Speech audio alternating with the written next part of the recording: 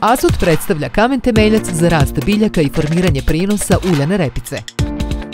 Biljke usvajaju azot iz zemljišta preko korenovog sistema.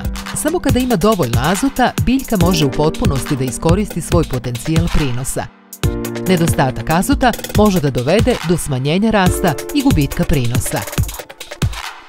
Da bi ostvarili maksimalne prinose, proizvođači moraju da obezbede dodatni azot u obliku đubriva.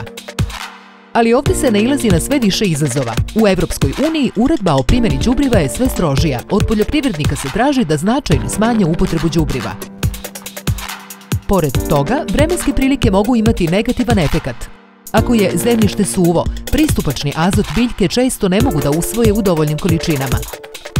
Obilne padavine mogu dovesti do pomeranja, a u ekstremnim slučajevima čak i do ispiranja azota.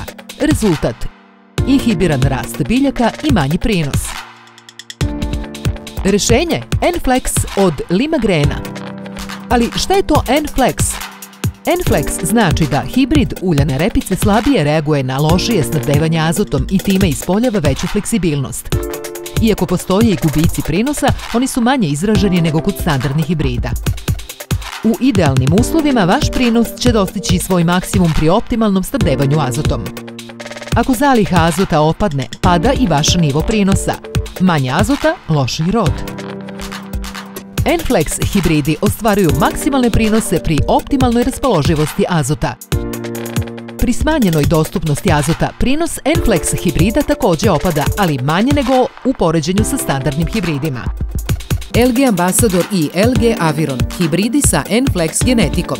Rezultati ogleda u različitim nivoima dostupnog azota govore sami za sebe. Hibridi LG Ambassador i LG Aviron su naše nove uzdanice za vaše polja sa jedinstvenom Enflex oznakom. LG Seme rađa profit.